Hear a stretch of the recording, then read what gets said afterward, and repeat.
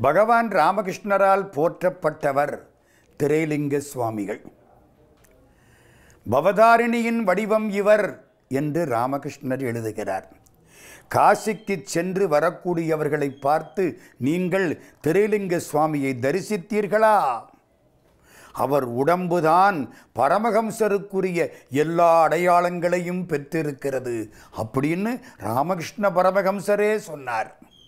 அந்த திரைலிங்க சுவாமிகள் காசியில் சமாதியான பிற்பாடு மதுரையில் வந்தார் தோன்றினார் தமிழ்நாட்டில் வாழ்ந்தார். அவருக்கு இந்த ஊரில் குழந்தையானந்த சுவாமின்னு பேர். கிட்டத்தட்ட ஆயிரத்தி அறநூற்றி இருபத்தி ஏழில் இருந்து ஆயிரத்தி தொள்ளாயிரத்தி முப்பத்தி ரெண்டு வரைக்கும். ஒரு முந்நூறு ஆண்டுகள். அவர் வாழ்ந்திருக்கிறார். பல இடங்களில் சமாதியாகி மீண்டும் எழுந்திருக்கிறார்.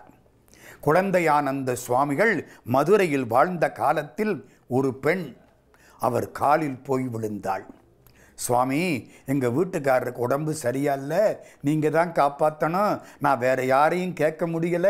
மீனாட்சி காலில் விழுந்தேன். நீங்கள் மீனாட்சியினுடைய பிள்ளை உங்கள் காலில் வந்து விழுந்திருக்கிறேன். அப்படி பார்த்தார். என்ன வேணும்? தாலி பிச்சை தானே? மீனாட்சி கொடுத்துட்டா உன் கணவன் பிழைப்பான் போ. அவ்வளவுதான். அந்த கணவன் பிழைத்து கொண்டான். இவருக்கு மீனாட்சியின் குழந்தைன்னு பேர். அந்த வரலாறு வர்ற பொழுது நாம் அடுத்து இதை சிந்திக்க இருக்கிறோம். திண்டுக்கல்லில் ஒரு வீட்டில் மாடியில் அடிக்கடி உட்கார்ந்திருப்பார் குழந்தையானந்த சுவாமி. கீழே இருக்கிற அம்மையார் அப்பப்போ சாப்பாடு கொடுப்பாங்க. இந்த மாடிப்படி அந்த காலத்து வீடுகள். ஒவ்வொரு படியும் உயரமாக இருக்கும். ஏறி போயிட்டு இறங்கணும். கஷ்டமாக இருக்கும். பெரும்பகுதி இவர் மாடியில் இருக்கிறதுனால பல பேர் மேலே ஏறுறதுக்கு முடியாதவங்க போக முடியாது. ஒரு நாள் அந்த கீழே இருக்கிற அம்மையார் இவருக்கு சாப்பாடு கொடுக்க வேண்டும் என்று சாப்பாட்டை தூக்கிக்கிட்டு அந்த மாடிப்படியில் முதல் படியில் கால் வைக்கிறாங்க. மேலே பார்த்தா அந்த பத்தாவது பதினொன்றாவது படியில் பட்டு புடவை கட்டிக்கொண்டு யாரோ ஒரு பெண் மேலே போய் கொண்டிருக்கிறாள். பளபளக்குது பட்டு புடவை. யாரோ ஒரு பெண் மேலே போகிறாள் அவள் வரட்டும் அப்படின்னு இந்த அம்மையார் கீழே நின்றுட்டாங்க மேலே போன பெண்ணு வரட்டும். அரை மணி ஆச்சு ஒரு மணி ஆச்சு ஒன்றரை மணி ஆச்சு. அவருடைய சாப்பாட்டு நேரம் தாண்டி விட்டது. மேலே ஏறின பொண்ணு கீழே வரவே இல்லை. இந்த அம்மாவுக்கு ஒரே ஆச்சரியம். அதை எப்படி மேலே போனவங்க எப்படி மேலே போக முடியும்? மேலே போய் பார்த்தா யாருமே இல்லை. குழந்தையானந்த சுவாமி மட்டும் சிரிச்ச உடிச்சு உட்கார்ந்துருக்கிறார். சாமி ஒரு அம்மையார் பட்டு புடவை கட்டிக்கிட்டு மேலே வந்தாங்களே. அதானே அது எங்கள் அம்மா மீனாட்சி வந்தா போயிட்டா. எப்படி இருக்கும்? ஆச்சரியத்தில் ஆச்சரியம். எவள் மகாராணியாக வந்து ஆட்சி செய்தாளோ எவள் தன்னுடைய கணவனுக்கு தன்னையும் தந்து தன் ராஜ்யத்தையும் கொடுத்தாளோ மாலை சூட்டி கணவர் பேணல் மங்கையருக்கு தனி மாட்சி மகுடஞ்சூட்டி கணவர்க்கு தென் மதுரை தந்தவள் மீனாட்சி. அந்த பராசக்தி வந்து இவருக்கு சாப்பாடு கொடுத்து விட்டு போயிருக்கிறாள். எப்படி இருக்கு? அந்த கீழே இருந்த அம்மையாருக்கு கண்ணீர் விட்டார்கள். இந்த இடத்திலே மீனாட்சியினுடைய திருவடி பட்டிருக்கிறது. காலில் விழுந்து குழந்தையானந்த சுவாமிகளை கும்பிட்டார். இன்னொரு காட்சி. திண்டுக்கல்லுக்கு பக்கத்தில் கொடரோடுன்னு ஒரு ஸ்டேஷன். இந்த கொடைக்கானல் போகிறவங்கள்லாம் அங்கே இறங்கி போவாங்க. அங்கே ஒரு ரயில்வே தொழிலாளி. அவருக்கு கிருஷ்ணமூர்த்தின்னு பேர். அவருடைய பையன் ஒரு முறை விளையாடுற பொழுது மேலே இருந்து கீழே விழுந்தான் அடிபட்டுட்டான் இறந்து போயிட்டான். ஒத்த பையன். அவர் சாமியை கும்பிடுறவர். குழந்தையானந்த சுவாமிகள் அவருக்கு குருநாதர். ஓடி வந்து காலில் விழுந்து அழுதார். அந்த பையனை தூக்கிக்கிட்டு வந்து சாமிக்கு முன்னால் போட்டுட்டார். சாமி மூணு நாள் அவன் கூட உட்கார்ந்திருந்தார். அசையலை. சாப்பாடு கிடையாது. நம்ம வார்த்தையில் சொல்லப்போனால் அது பெணா. பிணத்துக்கு முன்னாலே சாமி மூணு நாள் உட்கார்ந்திருக்கிறார். மூணாவது நாள் ஆயிற்று எழுந்தார். பையனும் எழுந்தான். யமன் ஏமாந்து விட்டான். போ. காலில் விழுந்து கும்பிட்டார்கள். இதுதான் சித்தர்கள் செய்யக்கூடிய செயல். மற்றவர்களால் முடியாத காரியத்தை சித்தர்கள் செய்வார்கள். நீங்கள் முழுக்க நம்புவீர்களே ஆனால் உங்கள் துன்பங்கள் எல்லாம் உங்களை விட்டு ஓடிப் போய்விடும். சித்தர் பார்வைக்கு மட்டுமே இந்த பேராற்றல் உண்டு. முருகப்பெருமானுடைய பார்வையை பற்றி பேச வந்த ஒரு பெரியவர் பாடுகிறார் சித்தர்களுடைய பார்வை அத்தனையும் சேர்ந்தது முருகனுடைய பார்வை என்று பேசுகிறார். தரணிதனில் அறுபத்தறு கோடி தீர்த்தம் உன் சரவணத்துள்ளடக்கம் சாற்றுமோர் எழுகோடி மந்திரங்களும் உனது சடாட்சரத்துள்ளடக்கம் விரதமிகு நவகோடி சித்தர்களும் உனது சுப வீட்சணந்தனில் அடக்கம். ஒன்பது கோடி சித்தர்களுடைய பார்வை உன்னுடைய பார்வையினால் வந்தது. அவர்களுடைய ஆற்றல் முழுக்க முருகப்பெருமானே உன் பார்வைக்குள் அடக்கம். தரணிதனிலாறுபத்தரு கோடி தீர்த்தம் உன் சரவணத்துள்ளடக்கம். சாற்றுமோர் எழுகோடி மந்திரங்களும் உனது ஷடாட்சரத்துள்ளடக்கம். விரதமிகு நவகோடி சித்தர்களும் உனது சுப வீட்சணம் வீட்சணம்னா பார்வை. விரதமிகு நவகோடி சித்தர்களும் உனது சுப வீட்சணந்தனில் அடக்கம். மேலான தேவாலயங்களும் உன் ஆறுபடை வீட்டினிற்குள்ளடக்கம் இரவி முதல் முப்பத்து முக்கோடி தேவர்களும் உன் இதய கமலத்தடக்கம் ஈரேழு புவன முதல் அண்டங்கள் பலவும் உன் இடந்தனிலடக்கம் ஐயா வரிசி மிகு பக்த ஜன பரிபாலனா மோகவள்ளி குஞ்சரி மணாளா வனசமலரையன் மதனை அருள் சரச கோபாலன் மருகா சரவண முருகனே. முருகனை பற்றி உருகி உருகி ஒரு புண்ணியவான் பாடின பாட்டு இந்த பாட்டு. முருகனுடைய பார்வை எப்படியோ சித்தர்கள் பார்வை எப்படின்னு பழனி ஆண்டவனுக்கு சித்தன்னு பேர். பழனிக்கு சித்தன் வாழ்வுன்னு பேரு. குழந்தையானந்த சுவாமிகளும் மீனாட்சிக்கு குழந்தை. அதனாலே அந்த பார்வை பட்டது இறந்த பிள்ளை எழுந்தது. திருநெல்வேலி கந்தசாமி பிள்ளைன்னு ஒருத்தர். அவருக்கு குழந்தை கிடையாது. கணவனும் மனைவியும் குழந்தையானந்த சுவாமிகள் காலில் வந்து விழுந்தார்கள். சாமி நாற்பத்தஞ்சு நாள் பூஜை பண்ணணும்னார் ஒரு மண்டலம். நாற்பத்தஞ்சு நாள் பூஜை நடக்குது. அந்த காலத்தில் ரெண்டாயிரம் ரூபா செலவு. கிட்டத்தட்ட நூறு வருஷத்துக்கு முன்னால் ரெண்டாயிரம் ரூபா செலவு. எட்டு பவுன் தங்க வளையல் போட்டிருந்துச்சு அந்த அம்மா கையில். ஒவ்வொரு வளையலும் ஒரு பவுன். நாலு ஜோடி எட்டு பவுன் வளையல். எட்டு வளையல். போட்டுக்கிட்டு உட்கார்ந்துருக்கு. சாமி அந்த வேள்வியை பண்ணிக்கிட்டே இருக்கார். நாற்பத்தஞ்சு நாள் ஒரு பூஜை பண்ணிக்கிட்டு இருக்கார் ஒரு யாகம் மாதிரி. அந்த அம்மாவை அப்படியே பார்த்தார். இந்த இந்த வளையலை எங்கள் அம்மாவுக்குத்தா? அந்த அம்மா என்னன்னு கேட்டு எங்கள் அம்மாவுக்கு இந்த வளையலை கொடு. கலட்டுனுச்சு. ஒவ்வொரு வளையலை நீ போட்டுக்கன்னார். ஏன்னா வளையல் வந்து மங்களத்துக்கு அடையாளம். வளையல் போட்டால் சுமங்கிலின்னு அர்த்தம். ஒரு பெண்ணை வாழ்த்துற பொழுது வளையலோடு வாழ்கன்னு வாழ்த்தினால் சுமங்கிலியாக வாழ்வாயின்னு அர்த்தம்.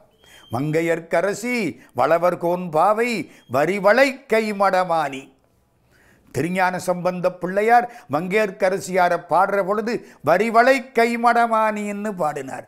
வளையலை அணிந்த கைகளை உடையவள். அதனால தான் கூன்பாண்டியன் வெப்பு நோயினாலே இறந்து போகாமல் பிழைத்தான்.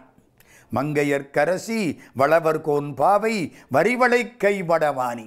பங்கையச் செல்வீர் பாண்டிமாதேவி பணி செய்து நாள்தோறும் வரவர். பொங்கலல் உருவன் பூதநாயகன் நாள் வேதமும் பொருள்களும் அருளி அங்கையல் கண்ணி தன்னொடும் அமர்ந்த ஆலவாயாவதும் இதுவே. திருஞான சம்பந்த பிள்ளையார் மதுரைக்கு வந்து மீனாட்சியையும் சொக்கநாதரையும் பாடுறதுக்கு முன்னாலே மங்கையர்க்கரசி என்ற பாண்டி நாட்டு ராணியை பாடிய பாடல் இந்த பாடல். ரெண்டு வளையலை போட்டுக்கோ மிச்ச வளையலை கலட்டி கொடு. யாரு கேட்குறா? குழந்தையானந்த சுவாமி. அந்த அம்மையார் கலட்டி கொளுத்தார்கள். ஆறு வளைகளை போட்டார் அக்னியிலே அடுத்த பத்தாவது மாதம் ஆண் குழந்தை பிறந்தது. ஒரு விஷயம் தெரியுமா? இந்த யாகம் பண்ணாங்கள்ல யாகத்துக்காக நிறைய வாழை மரம் வாங்கி வாழைத்தார்கள் அப்படியே வாழைக்காயாக இருந்தது. யாகம் முடிகிற பொழுது அத்தனையும் பழுத்தது. இந்த மாதிரிகள்லாம் நடக்காது. காய் அப்படித்தான் இருக்கும். அவ்வளதும் படுத்தது. அந்த கந்தசாமி பிள்ளை சாமி காலில் விழுந்து கும்பிட்டார். யார் இந்த குழந்தை ஆனந்த சுவாமி? இவ்வளவு அற்புதம் பண்ணி இருக்கிறாரே இவர் யார்? இப்போ அந்த வரலாற்றை நாம் சிந்திக்க இருக்கிறோம். மதுரைக்கு பக்கத்தில் சமயநல்லூர்னு ஒரு ஊர். அங்கே திருமல நாயக்க மன்னரிடத்திலே திவானாய் இருந்தவர் அண்ணாசாமி ஐயர்னு ஒருத்தர். அவர் மனைவி திரிபுர சுந்தரி அம்மையார். இவங்களுக்கு ரொம்ப நாளாக குழந்தை இல்லை. மீனாட்சி காலில் போய் விழுந்தாங்க மதுரையில். அம்பாளுடைய கடைக்கண் பார்வை பட்டாலே போதும்.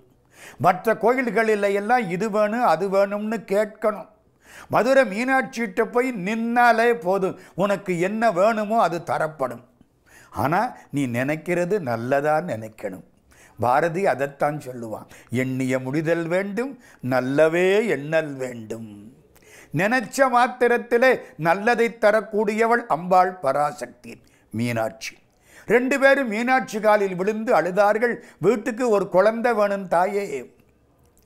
என்னதான் செல்வம் இருந்தாலும் பொன்னுடையரேனும் புகழுடையரேனும் மற்ற என்னுடையரேனும் உடையரோ இன்னடிசில் புக்களையும் தாமரைக்கை பூனாருஞ் செய்யவாய் மக்களை இங்கு இல்லாதவர். பிள்ளை இல்லைன்னா மற்றபடி என்ன இருந்து என்ன பண்ணுறது அம்மா குழந்தை வேணும். இந்த தாய் மனசு ரொம்ப உருகிருச்சு. இந்த திரிபுர சுந்தரி அம்மாள் சொன்னாள் தாயே எனக்கு குழந்தை பிறந்தா முத குழந்தைய உங்ககிட்ட கொடுத்துட்றேன்னா சில சமயம் இப்படியெல்லாம் சொல்லிடுவோம் அது பின்னாலே அதே மாதிரி நடந்துடும் அதே மாதிரி ஆச்சரியம். சொன்ன உடனே ஆயிரத்தி அறநூற்றி இருபத்தி ஏழு பிரபவ வருஷம் சித்திர மாதம் ஏழாம் தேதி வெள்ளிக்கிழமை அன்னைக்கு பூச நட்சத்திரம் ரெட்ட பிள்ளை பிறந்தது. ராமனும் லக்ஷ்மணனும். கேட்டது ஒன்று கிடைச்சது ரெண்டு. அதுதான் கடவுள் கிருபை. மனுஷங்கிட்ட ஆயிரம் கேட்டால் ரொம்ப யோசிச்சு விட்டு நூறுரூவா கொடுப்பான். இல்லை நாளைக்கு வாடான்றுவேன். ஆண்டவங்கிட்ட போய் கேட்டிங்கன்னா என்ன வேணாலும் கொடுப்பார் ரெண்டு பங்கு கொடுப்பார் கேட்காம கும்பிட்டீங்கன்னா கடவுள் அவரையே கொடுப்பார். குழந்தை ரெட்ட பிள்ளை இந்த ராமன் கால்களில் சங்கு சக்கர ரேகை இருக்குது பிறந்தது எல்லா குழந்தையும் அழுமே. ஆமாம் இந்த குழந்தை சிரித்தது. எல்லாம் மாறி இருக்கு இந்த குழந்தை சிரித்தது. ஏன் உலகம் வாழ வேண்டும் என்பதற்காக எடுக்கப்பட்ட அவதாரம் மாதிரி இந்த குழந்தை சிரித்தது. பிரார்த்தனை. முதல் குழந்தையை கொண்ட மீனாட்சி சந்நிதியில் போடணும். அது எப்படி போடுறது? சின்ன பிள்ளை பால் குடிக்கிற பிள்ளை நான் என்ன பண்ணுவேன்? இந்த தாய் மனசு ரொம்ப கஷ்டப்பட்டது. தகப்பனார் சொன்னார் அம்மா மீனாட்சிக்குன்னு சொல்லிட்ட அவ பார்த்துக்குவா உனக்கு எனக்கும் சோறு போடுறது யாரு? அவ தானே. இந்த குழந்தைய அவ காப்பாற்ற மாட்டாளா? கர்ப்பத்தில் இருக்கிற குழந்தைக்கும் கல்லுக்குள்ளே இருக்கிற தேரைக்கும் எவ சோறு போடுறா? நீ ஏன் நானா? அவ பார்த்துக்குவா போ. குழந்தைய கொண்டு போய் மீனாட்சி அம்மன் சந்நிதியில் மூத்த பிள்ளைய விட்டுட்டாங்க. கோயிலில் இருக்கிற அர்ச்சகர்கள் வளர்க்கிறார்கள். இந்த குழந்தை கோயிலுக்கு வந்து மீனாட்சிக்கு முன்னால் நிற்கும் அப்படியே சிரிச்சபடிக்கு நிற்கும் மீனாட்சியினுடைய அணிகலன்களை ஒன்றொன்னா தொட்டு பார்க்கும். ரொம்ப ஆச்சரியம். கோயிலில் உள்ள அதிகாரிகள் இந்த குழந்தையை இங்கே வச்சுக்கப்படாதுன்னாங்க. இது மீனாட்சியின் குழந்தை. இங்கே தான் இருக்கும் அர்ச்சகர். அப்படியா? அப்படின்னா ஒன்று என்ன? பொற்றாமரையில் போய் இந்த குழந்தைய நீந்த சொல்லு. அப்போது பொற்றாமரையில் தண்ணி நிறைய இருந்த காலம். இப்போ ரொம்ப குறைவாக இருக்கிறது. ஒரு பொன் தாமரை மிதக்க விடப்பட்டிருக்கிறது. இந்த குழந்தை சிரிச்ச உடுக்கி போனது மல்லாக்கப்படுத்து நீந்த ஆரம்பிச்சுது. அதிகாரிக்கு பயந்து போச்சு. குழந்தையை கொண்டு வந்து திரும்ப படுக்க வச்சுட்டாங்க. மீனாட்சியினுடைய சன்னிதானத்தில் இந்த குழந்தை வளர்ந்து வந்தது. பின்னாலே பாபா சுவாமிகள்னு ஒருத்தர் வந்தார். அவர் இந்த குழந்தைக்கு ஞான உபதேசம் பண்ணினார். இந்த குழந்தை தான் குழந்தை ஆனந்த சுவாமிகள் என்ற பெயரோடு மீனாட்சியின் குழந்தையாக வளர்ந்து வந்தது. ஆயிரத்தி அறநூற்றி நாற்பத்தி மூணு. இந்த குழந்தைக்கு பதினாறு வருஷம். இவங்க அப்பா இறந்து போயிட்டார். அம்மா உடன்கட்டை ஏறிவிட்டாள். இந்த குழந்தை காசிக்கு போனது பதினாறு வயசில். அப்பா அம்மாவுக்கு நீர்க்கடன் செய்தது காசியிலே திரைலிங்க சுவாமிங்கிற பேரில் வாழ்ந்தது. அது ஒரு வரலாறு. ரொம்ப நாளைக்கு அப்புறம் நூற்றம்பது ஆண்டுகள் திரைலிங்க சுவாமிகளாக வாழ்ந்துவிட்டு அதுக்கப்புறம் தமிழ்நாட்டுக்கு வந்திருக்கு. நிறைய செய்திகள். நமக்கு இந்த வரலாறுகள் இரநூத்தம்பது முந்நூறு வருஷத்து வரலாறு. இதுக்கெல்லாம் சரித்திர சான்றுகள் நிறைய இருக்கின்றன. எழுதி வைத்த ஏடுகளிலே இருந்து பல செய்திகளை நாம் தெரிந்து கொள்கிறோம். திரைலிங்க சுவாமிகள் சமாதியான பின்னாலே எழுந்தாராம் காசியில். எழுந்து ஒரு பெட்டிக்குள் வைத்து என்னை கங்கையில் தள்ளிவிடுங்கள். அதே மாதிரி கங்கையில் தள்ளிவிட அந்த பெட்டி மதுரை பக்கத்திலே வந்து ஏதோ ஒரு ஆற்றிலே வந்து கரை சேர சுவாமி எழுந்து வந்தார் என்று வரலாறு திருவண்ணாமலையிலே சுவாமி தரிசனம் திருவண்ணாமலையில் தவம் ரெண்டாவது சமாதி திருவண்ணாமலையில் உட்கார்ந்தார். ஏன் தீமயமானது திருவண்ணாமலை? உண்ணாமலை உமையாளுடன் உடனாகிய ஒருவன் பெண்ணாகிய பெருமான்மலை திருமாமணி திகழ. மண்ணார்ந்தன அருவித்திரள் மழலை முழவதிரும் அண்ணாமலை தொழுவார் வினை வலுவாவண்ணம் அருமே. அப்படிப்பட்ட இடம் திருவண்ணாமலை. சுவாமி திருவண்ணாமலையில் வாழ்ந்தார். சித்தர்களை எல்லாம் இழுக்கக்கூடிய இடம் திருவண்ணாமலை. எங்கே பிறந்தாலும் சரி காந்தம் இரும்பை இழுப்பது போலே சித்தர்களை இழுக்கக்கூடிய இடம் திருவண்ணாமலை. காசிக்கு பக்கத்திலே பிறந்த யோகிராம் சுரத்குமாரை இழுத்த இடம் திருவண்ணாமலை. மதுரையிலே இருந்து பகவான் ரமணரை இழுத்த இடம் திருவண்ணாமலை. சேஷாத்திரி சுவாமிகளை காஞ்சிபுரத்திலே இருந்து இழுத்த இடம் திருவண்ணாமலை. ஈசான்ய ஞான தேசிகரை வடநாட்டிலே இருந்து இழுத்த இடம் திருவண்ணாமலை. அந்த திருவண்ணாமலையிலே வாழ்ந்தார். அங்கே சமாதியானார். அது ரெண்டாவது சமாதி. அந்த சமாதியிலே இருந்து திரும்ப எழுந்து விட்டார். கட்டையா குட்டையா இருப்பார். நாலடிக்கும் குறைச்சல் உயரம். வாயிலே எச்சில் வழியும் இதுதான் குழந்தையானந்த சுவாமியை நாம் கண்ட தோற்றம். இந்த மதுரையிலே வாழ்ந்த பொழுதெல்லாம் சாமி இப்படித்தான் இருந்திருக்கார். அப்போவே அவருக்கு கணக்கு போட்டு பார்த்தா கிட்டத்தட்ட நூற்றி எண்பது வயசுக்கு மேலே ஆயிருக்கும். ஆனால் அவரை பார்த்தா குழந்தையாக இருப்பார். தென்காசிக்கு போனார். கதிர்வேலனுங்கிற ஒரு சீடன் அவனோடு கொஞ்ச காலம் வாழ்ந்தார். அவனோடு சமாதியானார். சில மணி நேரங்களில் அதிலிருந்து எழுந்தார். புறப்பட்டார். அதுக்கப்புறம்தான் மதுரை பக்கம் வந்தார். ஆக மூணு சமாதி ஆகிப்போச்சு சாமிக்கு. காசியில் ஒன்று திருவண்ணாமலையில் ரெண்டு தென்காசியில் மூணு. அதுக்கப்புறம்தான் மதுரைக்கு வந்தார். மதுரையில் எல்லாரோடும் வாழ்ந்தார். சாமி கனமாக இருப்பார். தூக்க நினச்சா தூக்க முடியாது. காலில் விழுந்து கும்பிட்டா லேசாகிடுவார் கையில் சில மூலிகை வச்சிருப்பார். சுருளி மலையிலே ஒரு கொடி இருக்கிறது. அந்த கொடியிலே ஒரு பால் வரும். அந்த பாலை உண்டால் இருநூறு ஆண்டுகள் வாழலாம். சாமி சொல்கிறார் நமக்கு சுருளி மலையிலே அது எங்கே இருக்குன்னு நமக்கு தெரியலை. சாப்பாடு எப்படி தெரியுமில்ல குழந்தைக்கு? இட்லியே பாலில் ஊற வச்சு ஊட்டுவாங்களாம். கொஞ்சம் கொஞ்சமாக சாப்பிடுவாராம். அதனால தான் அவருக்கு குழந்தையானந்த சுவாமின்னு பேர். வத்தலக்குண்டுக்கு போகிறார் சித்தாலங்குடிக்கு போகிறார் திண்டுக்கல்லுக்கு வருகிறார் குங்குமத்தை எடுப்பாராம் அப்படி தெளிப்பாராம். தெளிச்சா என்ன ஆகும்?